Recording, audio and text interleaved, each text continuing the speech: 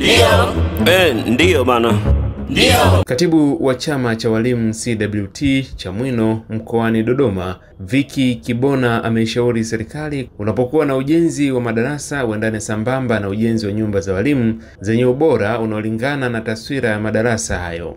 Kibona amesema katika kipindi cha hivi karibuni nyumba za walimu hazijapewa kipaumbele kama ilivyo kwenye ujenzi wa madarasa, hali inayosababisha walimu kuendelea kuishi katika mazingira duni ya kazi.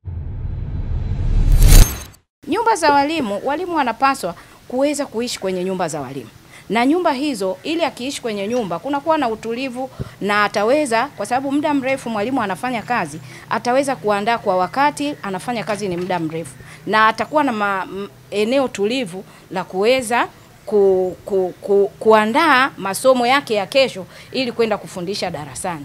Lakini tunaangalia kwa kwa kipindi hiki nyumba za walimu hazijatiliwa kipaumbele sana zaidi tunaona msukumo mkubwa uko katika ujenzi wa madarasa. Hivyo basi, kama chama cha walimu tunatoa rai kwa serikali, wanapojenga madarasa waangalie na namna ya kujitahidi kuongeza ujenzi wa nyumba za walimu ili walimu waweze kukaa katika mazingira bora zaidi.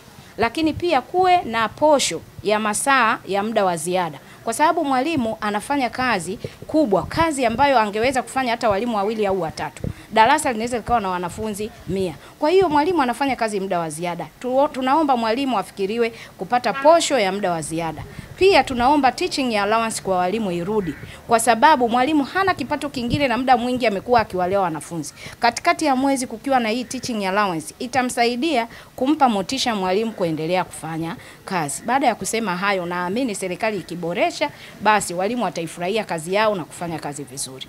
Tunaomba pia serikali yetu ya awamu ya sita iangalie walimu hasa katika nyumba tunazoishi. Walimu hatuna nyumba tunazoishi, hasa walimu wa kike wanapata wakati mgumu. Walimu wengi wako vijijini, hawana sehemu za kuishi, inatokea walimu kufanyiwa vitendo ambavyo si vizuri. Tunaipongeza serikali yetu, lakini tunaomba itupe jicho la tatu kwa upande wa walimu. Asanteni. Asante sana.